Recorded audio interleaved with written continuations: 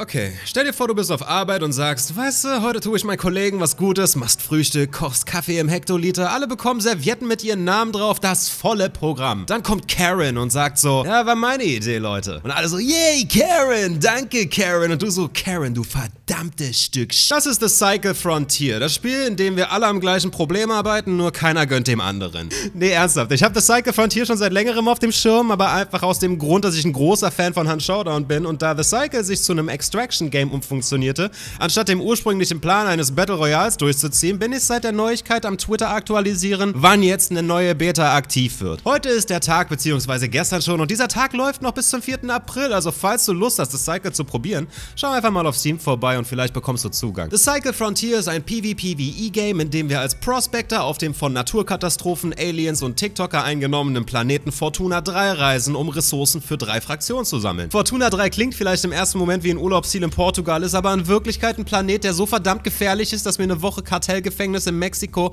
lieber wäre, als dort einen Abend auf ein Dinner eingeladen zu werden. Dennoch bringt uns unser finanzieller Notstand dazu, über unseren Schatten zu springen und landen an dem Ort, an dem alles unser Gesicht vom Knochen fressen möchte. Sieht alles gar nicht so schlimm aus, denken wir uns im ersten Moment. Die Vegetation sieht aus wie das Kunstprojekt eines ambitionierten Gärtners, viele kleine funkelnde Steine, die mit Sicherheit für die Schulden beim Crackdealer Egon aufkommen, rumliegende Wertmaterialien, die nur darauf warten, von uns abgebaut zu werden. Dann werden wir mit der harten Wahrheit konfrontiert und begrüßen die Lebewesen dieses Planetens, die uns über die stammesübliche Begrüßung zeigen, was sie von uns halten. Mit allem im Gesicht, was die Schleimhäute dieses Wesens zu bieten hatten, nehmen wir das erbeutete Gut und flitzen, um einen Ausgang zu finden. Leider Gottes ist unser Charakter seit der Geburt Kettenraucher, wodurch unsere Ausdaueranzeige nach jedem kurzen Sprint gefolgt wird von einem so unfassbar lauten Durchatmen, dass Lebewesen auf Nachbarplaneten fragen würden, ob Tuberkulose auf Fortuna 3 ausgebrochen ist. Nun stellt sich raus, wir sind in der falschen Nachbarschaft. Hier gibt es andere geldknappe Dudes, die vielleicht meine Beute wollen. Wir sehen, wie einer sich die Lamas des Planeten vom Leib hält und nutzen die Gunst der Stunde, um seine Karriere zu beenden. Besser wir schießen, bevor wir anfangen, Fragen zu stellen. God bless America. Wir schaffen es zum Ausgang und werden über den lautesten und auffälligsten Flieger im Universum abgeholt, der scheinbar noch tanken musste, bevor er losfliegt.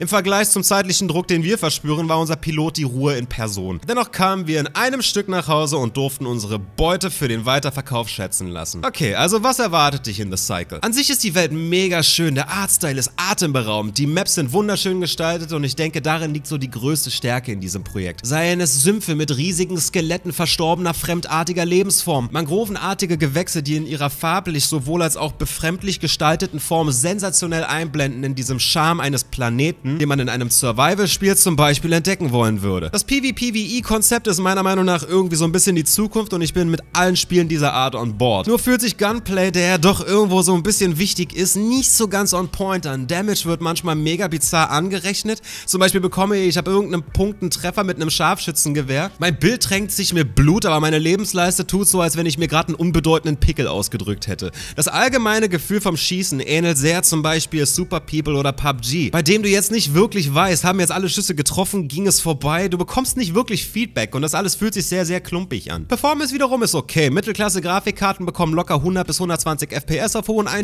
Nur fehlen mir für die Grafik noch ein paar Einstellungsmöglichkeiten, zum Beispiel Anti-Aliasing, nur so um ein Beispiel zu nennen. Die Waffen sind cool und fühlen sich auf den ersten Blick recht balanced an. Eine Sniper tötet per Kopfschuss, SMGs leiden auf Reichweite, ARs haben eine niedrige Feuerrate, sind aber auf Reichweite effektiver. Ich denke, das Thema Balance haben sie ziemlich gut im Griff bekommen. In Sachen Enemy-Vielfalt hat man sehr viel von zwei Sorte Gegner im Spiel, die du eigentlich überall siehst. Selten bekommt man das Gefühl, dass es da mehr gibt. Also ich sag mal, gibt es, aber die sind sehr selten. Economy und Management sind so mein größtes Problem am Spiel und ich erkläre kurz warum. Du hast drei unterschiedliche Währungen. Ich meine, ist klar, wird free to play, wie soll es auch anders sein, ne? Einer dachte sich aber wohl, es wäre gut, dieses Schema ins Spiel zu bringen, welches du typischerweise in Handyspielen findest. Bei dem du jetzt zum Beispiel was upgraden möchtest, aber das dauert halt. Nun ja, du könntest natürlich diese Währung hier nutzen, um das Ganze zu beschleunigen. Das ist ein Kack-Design-Choice für ein PC-Spiel, bei dem du versuchst, aktive Spielerzahlen zu grinden. Für SimCity oder so, wo ich auf Toilette bin und ein Hochhaus kurz abfarme und zwei Stunden später das gleiche wiederhole. Okay, cool. Aber nicht bei einem Spiel, wo ich mich aktiv vorm Rechner hinsetze zum Spielen. Auch ist der Social Hub an sich eine coole Idee,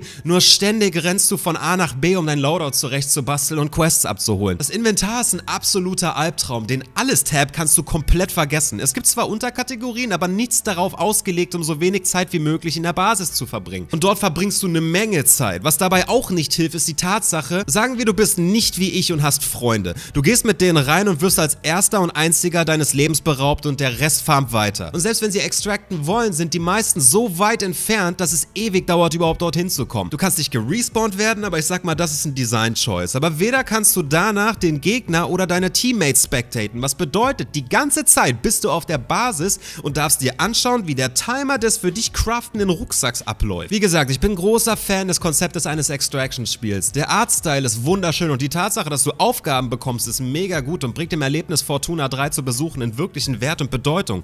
Nur denke ich, abseits der technischen Schwierigkeiten einer Beta werden wir eine Menge Quality of Life Updates bekommen und ich glaube, solange das Ding nicht von EA gepublished wird, können wir vielleicht in einem Dreivierteljahr mit einem Full Release rechnen. Dennoch ist es ein gutes Spiel und hat viel Potenzial und ich denke, wenn wir hier eines Tages den Full Release bekommen, könnte dieses Spiel dieses Sci-Fi Extraction Shooter Jucken am unerreichbaren Mittelpunkt meines Rückens kratzen und uns lange Zeit beschäftigen. Nun ja, wisst ihr, was noch den unerreichbaren Mittelpunkt meines Rückens kratzt? Richtig, der Abo-Button unter diesem Video. Also falls du super cool bist, würde ich mich riesig freuen, wenn du den Ich trage unfassbare Coolness in mir Button drückst. Somit bleibst du auf dem Laufenden zu News, Reviews, Previews zu releasenden Spielen und außerdem würdest du mir eine richtig dicke Freude machen, wenn ich das nächste Mal in meine Analytics schaue. Dir ansonsten noch einen unfassbar wundervollen Tag für dich gedrückt und hoffentlich bis bald.